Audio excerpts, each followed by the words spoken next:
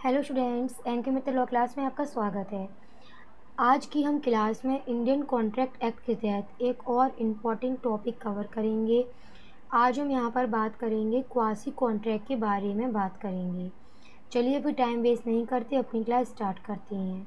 देखिए general speaking अगर बात की जाए कि कॉन्ट्रैक्ट क्या होता है तो बहुत सिंपल परिभाषा होती है जनरल स्पीकिंग सामने वाली पार्टी ऑफ़र देगी, जिस पार्टी के लिए ऑफ़र बनाया गया है, वो उसको स्वीकार कर लेती है। मतलब ऑफ़र और एक्सेप्टेंस आवश्यक होते हैं। लेकिन क्वासी कॉन्ट्रैक्ट एक ऐसा कॉन्ट्रैक्ट होता है, जो कि सरकम पर बेस होता है। परिस्थितियाँ ऐसी बन जाती हैं कि वो अपने आप ही वहाँ पर कॉन्ट्रैक्ट का निर्माण कर लेती हैं। मैंने कुछ वर्ड्स कीवर्ड्स यूज़ करे हैं। हम क्वासी कॉन्ट्रैक्ट को रेसेंबलिंग कॉन्ट्रैक्ट भी कह सकते हैं। क्वासी कॉन्ट्रैक्ट का मेन एसेंशियल होता है। क्वासी कॉन्ट्रैक्ट का मेन एसेंशियल होता है unjust enrichment at any cost of another एक सिंपल एग्ज़ाम्पल है, आप कर लीजिए, आपको बहुत सिंपलिसिटी से समझ में आ जाएगा। ए और बी डेप्टर्स हैं।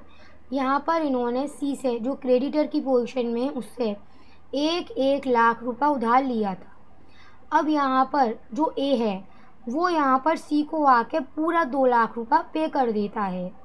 पर यहाँ पर बी इस बात को नहीं जानता है। और बी भी बाई मिस्टेक आकर सी को एक लाख रुपए अपने हिस्से का पे कर देता है। अब यहाँ पर सरकमटांसेस अपने आप एराइज हो जा रही हैं कि भाई सी को जो एक लाख रुपए एक्स्ट्रा मिल रहा है, वो वह वापस कर दे।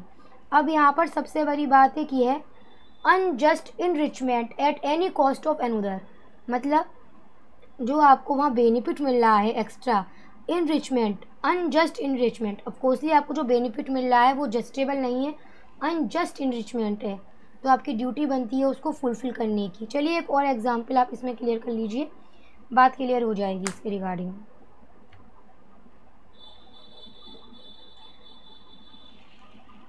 जैसे कि ए है। और उसके द्वारा ए जो है, वो एक ट्रेडर है और वह एक दिन बी के यहाँ गया। बी के यहाँ पर वो एक बॉक्स लेकर गया और वहीं पर उस बॉक्स को बी के यहाँ पर ही वो बॉक्स रह गया। यहाँ पर ए का इंटेंशन उस बॉक्स को देने का बी को कहीं से भी फ्रीली तो बिल्कुल नहीं था। बी ने उस बॉक्स को यूज़ कर लिया है। बी ने उस बॉक्स का बेनिफिट रिसीव कर लिया है। भाई, अब यहाँ पर सरकमटांसिस क्या राइज हो रही हैं? अब यहाँ पर बी की अपने आप ड्यूटी बन रही है कि वो ए को कंपनशेट करे। जो गुड्स उसने यूज़ कर लिया है, वह उसे वो वापस करे ए को। अपने आप ड्यूटी अराइज हो रही है। बी की अपने आप कंडीशन इम्पोज हो रही हैं। हम इसको कहते हैं क्वासी कॉन्ट्रैक्ट जिसके बारे में हमें बताया गया है सेक्शन सिक्सटी एट से। सेक्शन सेवेंटी टू तक बताया गया है। क्वासी कॉन्ट्रैक्ट मैं बहुत सिंपल एक एग्ज़ाम्पल बताती हूँ, उससे रिलेटेड सेक्शन सिक्सटी एट से रिलेटेड ए है, उसने पाँच लाख रुपए। बी की एजुकेशन में खर्च करे हैं। बी एक माइनर पर्सन है। ठीक है? क्या यहाँ पर जो ए है, वो इन पैसों को रिकवर कर सकता है रिस्टोर कर सकता है? यहाँ पर ए ने बी की एजुकेशन के लिए, जो कि उसके लिए नेसेसरीज ऑफ़ लाइफ है, ना कि लग्जरी है। बी एक इनकेपेबल पर्सन है। कॉम्पिटेंस ऑफ़ पार्टीज़ याद है? यस सेक्शन सिक्सटी एट क्या कहता है? माइनर पर्सन है अनसाउंड माइंड पर्सन है, जो कि इनकेपेबल है। उसको कुछ किया जाता है। उसकी नेसेसरीज फॉर लाइफ से रिगार्डिंग कोई बात उसको मुहैया करवाई जाती है प्रोवाइड करवाई जाती है तो उसको रीस्टोर किया जा सकता है, लेकिन केवल उस व्यक्ति की प्रॉपर्टी से ही रीस्टोर किया जा सकता है, केवल उसकी प्रॉपर्टी से रीस्टोर किया जाएगा। और ऐसा व्यक्ति खुद यहाँ पर इस संबंध में पर्सनली लाइबल नहीं माना जाएगा। हम इसे कहते हैं section sixty eight section sixty nine बताऊँ, उससे पहले पहले एक बार इसको रीड करूँ। A person who is interested in the payment of money a person who is interested in the payment of money which other is bound by law to pay and therefore pay it is entitled to be reimbursed by other अब समझ लो। Section sixty nine Z एक ज़मींदार है। उसके पास में एक ज़मीन है। वो इस ज़मीन को बी पर, बी को लीज पर देता है। इस ज़मीन पर रेवेन्यू बकाया है प्रॉपर्टी टैक्स बकाया है। इस टैक्स को पे करने की ड्यूटी किसकी है? बाई लॉ इस रेवेन्यू को पे करने की ड्यूटी बाई लॉ जेड की है। पर जेड अपना रेवेन्यू जो है प्रॉपर्टी टैक्स वगैरह जो है, उसे पे नहीं कर रहा है। यहाँ पर ऐसे में गवर्नमेंट के द्वारा एक नोटिस निकाला जाता है कि अगर जेड के द्वारा अपना रेवेन्यू प्रॉपर्टी टैक्स पे नहीं किया गया तो जो उसकी ये प्रॉपर्टी है ये वाली, जिस पर रेवेन्यू बकाया था, उसको सेल आउट करके पैसा वसूल कर लिया जाएगा और इसी के साथ में इस प्रॉपर्टी के ऊपर जो भी कॉन्ट्रैक्ट हो रहा है लीज से रिलेटेड वो सब भी ख़त्म माना जाएगा। अब ऐसे में यहाँ पर बी जो कि इस प्रॉपर्टी में, इस वाली प्रॉपर्टी में इंटरेस्टेड है, वो यहाँ पर जेट के बिहार पर जाकर गवर्नमेंट को रेवेन्यू पे कर देता है। और यहाँ पर अब जो बी है, वो एंटाइटल हो गया है कि वो जेट से उस पैसे को वसूल कर सकता है। अब एक बार फिर से परिभाषा को रीड कर लो। A person who is interested in the payment of money कौन व्यक्ति है यहाँ पर? अपना आंसर खुद ही बताते चलो मुझे अब। A person who is interested in the payment of money कौन व्यक्ति है जो इंटरेस्टेड है पेमेंट ऑफ़ मनी में? और which another is bound by law to pay और कौन व्यक्ति है जो कि लॉ के द्वारा बाउंड है पे करने के लिए?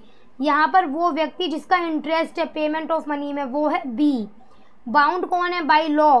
पेमेंट करने के लिए जेड है। यहाँ पर बी की तरफ़ से जब पे कर दिया गया है, जब बी की तरफ़ से पे कर दिया गया है यहाँ पर, अब अब यहाँ पर जो बी है वो एंटाइटल हो गया है कि वो जेड से उस पैसे को वसूल कर सकता है रीस्टोर कर सकता है। और इसी के बारे में बताया गया है सेक्शन सिक्सटी नाइन में। सेक्शन सेवेंटी अभी बता कर चुकी थी, एक बार फिर बता देती हूँ। ए एक व्यापारी है। वो बी के घर जाता है बॉक्स लेकर। वहाँ बी के घर जाने पर वो बॉक्स वहीं रह जाता है। यहाँ पर ए का इंटेंशन फ्रीली ऐसा करने का नहीं था। अफकोर्सली ए ने लॉफुल एक्ट करा है। बी ने उस बॉक्स को यूज़ कर लिया या यूँ कह लीजिए उसने उसको बेनिफिट रिसीव कर लिया। अब यहाँ पर इनके बीच में क्वासी कॉन्टैक्ट एराइज हो चुका है और सेक्शन सेवेंटी के तहत यहाँ पर ड्यूटी बनती है कि वो ए को कंपनशेट करे। Section seventy one finder of goods भाई, बहुत सिंपल है। ए, एक शॉपकीपर है। बी उसकी शॉप पर कुछ खरीदने गया। तब वहाँ पर गलती से बी की वॉच वहीं पर रह गई। सी जो कि ए का सर्वेंट है, उसके द्वारा वह वॉच देखी गई और वो वॉच उसने सर्वेंट ने ए को हैंडओवर कर दी है। अब यहाँ पर ए ने उस वॉच को अपनी टेबल के ड्रॉवर में संभाल कर रख दिया है। तो यहाँ पर जो find the goods of another यहाँ पर गुड्स मिले हैं किसके? किसी और के गुड्स मिले हैं यहाँ पर? तो वो बन गया फाइंडर ऑफ़ गुड्स और फाइंडर ऑफ़ गुड्स जो है, उसने गुड्स को अपनी कस्टडी में ले लिया है, उसके पास में है, और वो उन गुड्स को कितना संभाल के रखेगा? वो उन गुड्स को ठीक वैसे ही संभाल के रखेगा, जैसे कि एक बेली संभाल के रखेगा। मतलब वो उस गुड्स को ठीक वैसे ही संभाल के रखेगा, जैसे कि एक सामान्य व्यक्ति अपने गुड्स को संभाल कर रखता है। सेक्शन सेवेंटी टू इसका भी एग्ज़ाम्पल अभी बताया था, पर एक बात बता दूँ कि यहाँ पर जो वर्ड्स यूज़ हो रहे हैं मिस्टेक और कोवर्सन यहाँ पर मिस्टेक और कोवर्सन का वही मतलब है जनरल स्पीकिंग सेंस में माना जाता है। बहुत सिंपल है, अगर ए है, वो एक क्रेडिटर है, उसने बी और सी जो डेप्टर्स थे, उनको दस दस हज़ार रुपये उधार दिए थे। यहाँ पर बी ने ए के पास जाकर टोटल बीस हज़ार रुपये पे कर दिए हैं। सी इस बात को नहीं जानता और सी भी अपने हिस्से के दस हज़ार रुपये बाई मिस्टेक ए के पास में जाकर डिलीवर कर देता है हैंडओवर कर देता है। अब यहाँ पर ए को एक्स्ट्रा बेनिफिट मिल रहा है अनजस्ट इनरिचमेंट मिल रहा है। ए की ड्यूटी बनती है कि यहाँ पर ए को जो पैसा एक्स्ट्रा मिल गया है, वो उसे वो वापस कर दे। और इसी बारे में सेक्शन बहत्तर में बताया गया है। और इसी के साथ quasi contract section sixty eight to seventy two complete होता है।